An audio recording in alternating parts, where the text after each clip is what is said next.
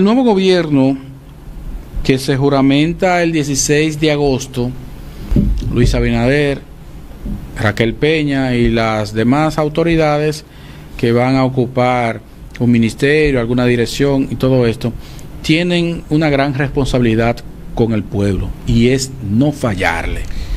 Bueno, Y esperamos de que esas autoridades que se juramentan ya en 19 días no le fallen al pueblo.